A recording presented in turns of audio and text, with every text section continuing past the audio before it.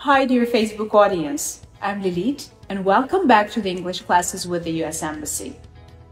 When I was planning this session, I was pondering over what are the situations we all appear in, irrespective of our professional belonging, social status. And I arrived at the conclusion that we all sometimes get involved in small talks to avoid awkward silence. As you get, we're going to talk about small talks today. A small talk is a conversation you get involved in to avoid embarrassing silence and to get socialized. My introvert friends might say, Why should we do that? But being a hopeless extrovert, I can tell you a number of reasons why.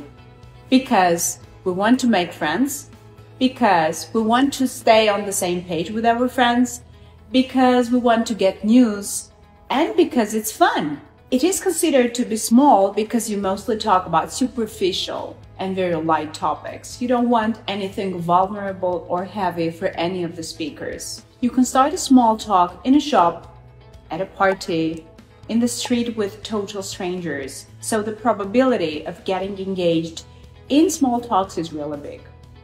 And when engaged, you've got to know what topics are fine to be discussed and what are absolute taboo topics. Well, you should know that discussing weather is quite fine in small talks. You can say, it's beautiful weather we're having today. Or you can say, the weather is bad, if it is really bad. Or if it is really cold outside, you can say, oh, it's freezing outside.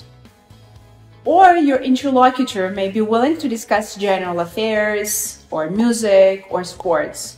So if you're at a party, you can start a conversation by saying, Do you like the music? And if you want to go any further, you can say, What music do you like? Or, Who's your favorite singer? Complimenting is yet another brilliant way to start a conversation. You can say, Oh, you look gorgeous. Or you can say, You have a nice dress. Or you can say, Your smile is so beautiful. Anyway, you can say absolutely anything that would make the person happy. In small talks, there exist taboo topics too.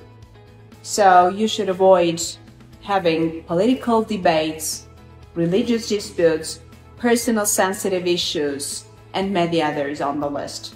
We'll get into the insides of the small talks and discuss very many other expressions used in them at our coming meeting. Keep well and see you soon.